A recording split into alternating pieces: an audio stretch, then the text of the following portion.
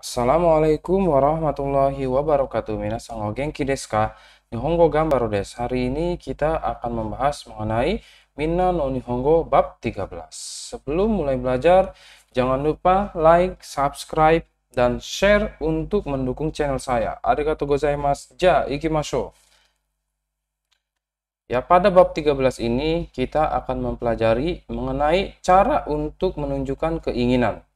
Ya, kita lihat rumus yang pertama. Rumus yang pertama kita lihat di sini ada kata bendaga hosides. Saya perbesar biar lebih jelas ya, minasang. Kata bendaga hosides. Ya, lihat di sini di sini adalah kata benda. Kata benda terus bertemu dengan partikel ga. Kata bendaga hosides. Ya. Pola kalimat ini digunakan untuk menunjukkan keinginan pembicara atau lawan bicara terhadap suatu benda ya. Di sini keinginan terhadap suatu benda. Kalau keinginan melakukan sesuatu itu akan kita bahas di rumus yang kedua. Dan hoshi ini adalah kata sifat i maka perubahannya seperti kata sifat i ya. Hoshi des kalau negatifnya hoshi kunai des bentuk lampaunya hoshi kata des bentuk lampau negatifnya hoshi kunakata des kita lihat contohnya yang pertama Watashi wa tomodachi ga hoshii desu ya. Artinya saya ingin teman ya. Tomodachi ga hoshii desu. Yang kedua, watashi wa uchi ga hoshii desu. Saya ingin rumah. Rumahnya dari mana? Uchi ya. Uchi ga hoshii desu. Ingin memiliki rumah. Ima nani ga hoshii desu ka? Berarti ini kalimat bertanya ya. Sekarang ingin apa ya? Nani, nani ga hoshi desu ka? Sekarang kamu ingin apa? Dijawab, kurumaga hoshi desu. Saya ingin mobil. Ya, ini dia contoh dari kalimat Jepang ke kalimat Indonesia. Sekarang kita balik. Saya ingin es krim yang enak. Ya, kita lihat saya ingin berarti nani nani ga hoshi desu. Kata benda ga hoshi desu. Kata bendanya apa? Es krim yang enak. Es krim yang enak adalah oishi aisu kurimu. Maka kalimat ini menjadi oishi aisu kurimu ga hoshi desu ya. Yang kedua, saya ingin buku yang praktis. Buku yang praktis bahasa Jepangnya adalah benrina hong ya. Benri praktis, hong kata benda, kata sifatnya apabila disambungkan dengan kata benda maka ditambahkan huruf na di antara kata sifat dan kata benda saya ingin buku yang praktis menjadi Benrina Hongga Hoshi des. Ketiga, saya ingin teman yang ramah. Teman yang ramah bahasa Jepangnya adalah Shinsetsuna Tomodachi ya. Maka saya ingin teman yang ramah Shinsetsuna Tomodachi ga Hoshi des. Ya, itu dia minasang rumus yang pertama ya. Kata benda ga Hoshi des. Kita lihat rumus yang kedua. Di sini saya perbesar biar lebih jelas ya. Rumus yang kedua, kata kerja bentuk mas, masnya dicoret dirubah menjadi taides. Ya, pola kalimat ini digunakan untuk menunjukkan keinginan pembicara atau lawan bicara untuk melakukan sesuatu perbuatan. Ya, jadi ini kata kerja untuk melakukan sesuatu. Ya, taides ini perubahannya seperti kata sifat i. Kita lihat contohnya, positifnya tabe taides artinya ingin makan. Negatifnya, tabeta kunai des, tidak ingin makan. Lampaunya, tabeta kata des, ingin makan untuk lampau. Negatif lampaunya, tabeta kata des, tidak ingin makan, tapi sudah lampau ya.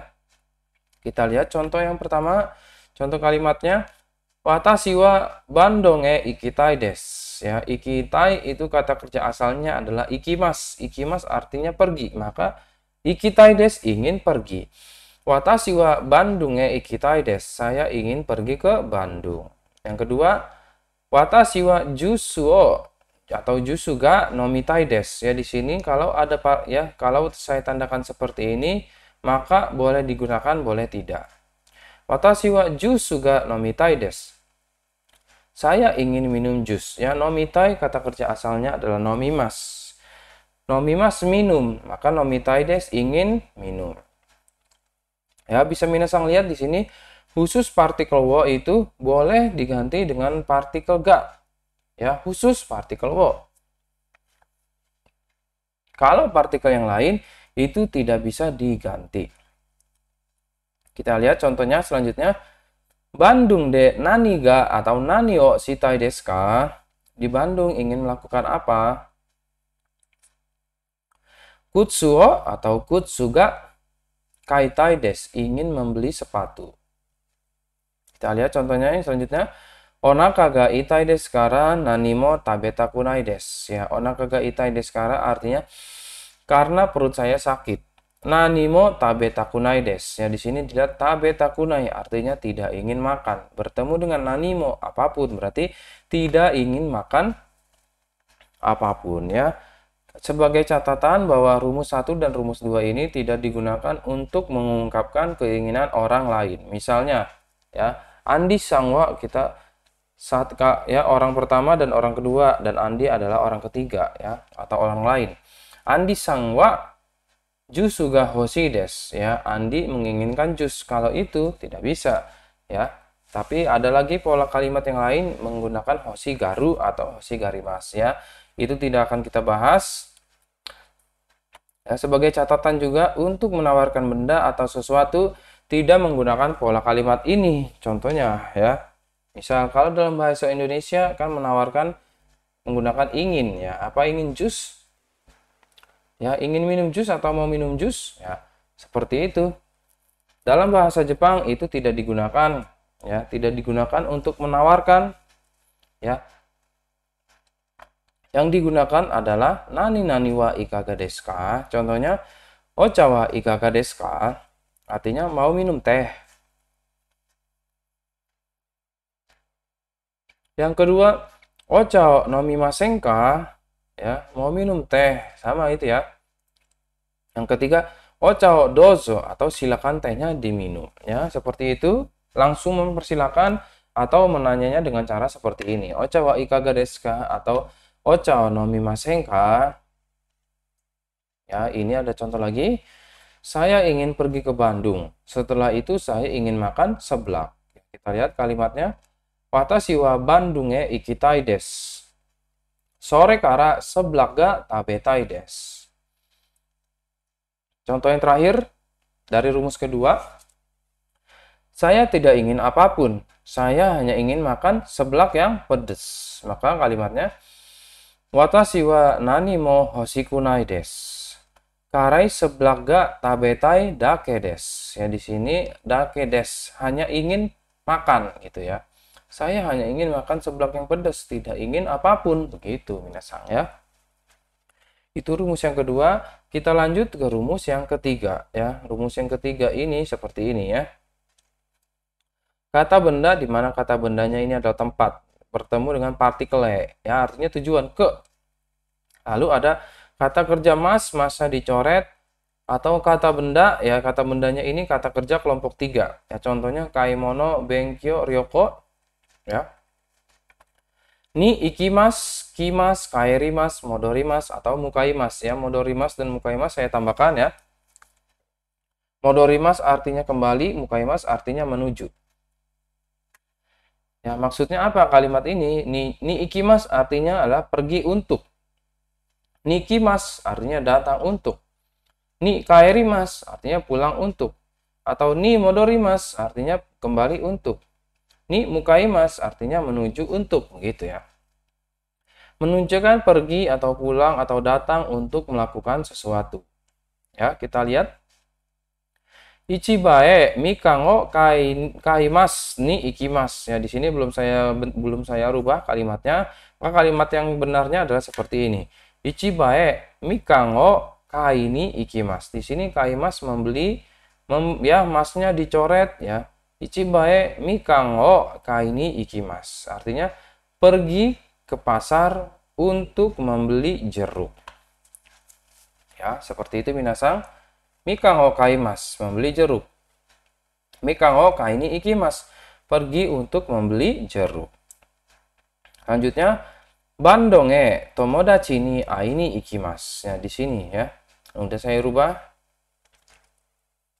Aimas, kata kerja asalnya adalah aimas. Aimas artinya bertemu. Tomodachi ni aimas, bertemu dengan teman. ya masnya dicoret ditambah ni ikimas tomodachi ni aini ikimas pergi untuk bertemu dengan teman Bandungnya tomodachi ni aini ikimas pergi ke Bandung untuk bertemu teman kita lihat contoh selanjutnya Nihong e ryo rino benkyo ni kimasta. Ya, di sini lihat benkyo. Benkyo itu kata kerja asalnya adalah benkyo simas. Karena dia kata kerja kelompok tiga, ya, maka simasnya dihapus menjadi kata benda, ya. Nihong e ryo rino benkyo ni kimasta. Ya, artinya datang ke Jepang untuk belajar masak. Begitu minasang ya. Untuk bertanya ya pergi untuk untuk apa ya itu gunakan Nani nani di sini nani naninya adalah kata benda tempat. Nani nani nani o sini ikimaska seperti ini ya. Nani o sini ikimaska atau nani o sini ikimaska atau nani o sini kairimaska. Contohnya seperti ini. Bandung e nani o sini ikimaska ya. Ke Bandung pergi untuk melakukan apa? Berarti kamu pergi ke Bandung untuk melakukan apa? Gitu minasang ya. Rumus yang ketiga. Sekarang kita lihat rumus yang keempat. Ya, rumus yang keempat. Di sini ada tempat atau kendaraan. Di sini ada partikel ni. Di sini ada partikel wo. Maksudnya bagaimana? Apabila masuk ke tempat atau naik kendaraan, maka kata partikel yang digunakan adalah partikel ni. Apabila keluar dari suatu tempat atau keluar dari kendaraan, maka partikelnya digunakan wo ya. Seperti ini lihat ada catatannya. Kita lihat contohnya. Kyoshitsu ni hairimas. Hairimas artinya masuk. Masuk ke kelas, maka setelah kyoshitsunya itu pakai partikel ni. Kyoshitsu ni hairimas. Masuk ke kelas. Selanjutnya, kurumani norimas. Norimas artinya naik kendaraan. Berarti kurumani norimas, naik mobil. Kyoshitsuo demas. Demas artinya keluar, ya keluar kelas. Kyoshitsuo demas, keluar kelas. Kurumao orimas, turun dari mobil. Itu dia minasang rumus yang keempat. Sekarang kita masuk ke rumus yang kelima. Dokoka atau nanika. Ya, dokoka artinya suatu tempat. Nanika artinya sesuatu. Ya, di sini doko artinya ya doko adalah kata kata tanya ya. Doko di mana? Apabila ditambahkan partikel K, doko K, maka bukan menjadi kata tanya lagi, tapi menjadi sebuah kata benda. Ya, partikel E dan ho setelah kata tersebut bisa dihilangkan. Ya, boleh partikelnya dihilangkan. Ya, kita lihat contohnya. Nodo ga kawakimasta kara nanika o nomitai desu. Boleh juga menyebutkannya nanika nomitai desu. Ya, karena saya haus, saya ingin minum sesuatu. Selanjutnya, onaka ga sukimasta kara nanika ga tabetai desu. Bisa juga mengucapkannya nanika ya. Nanika tabetai desu. Ya, berarti di sini partikel ga-nya juga bisa dihilangkan ya. Semua partikel yang berhubungan dengan kata kerja bisa dihapus ya apabila bertemu dengan seperti ini ada nanika dokoka ya. Karena saya lapar, saya ingin makan sesuatu. Kita lihat contoh yang terakhir astawaya sumi deskara doko kae asobi ni ikitai des atau doko ka asobi ikitai des ya. Karena besok libur, saya ingin pergi bermain ke suatu tempat. Nah, itu dia minasang. Sekian pelajaran hari ini, sekian video kali ini. Semoga bermanfaat untuk minasang yang sedang mempelajari bahasa Jepang. Ya, jangan lupa subscribe, like, dan share untuk mendukung channel saya. Arigatou gozaimasu. Assalamualaikum warahmatullahi wabarakatuh.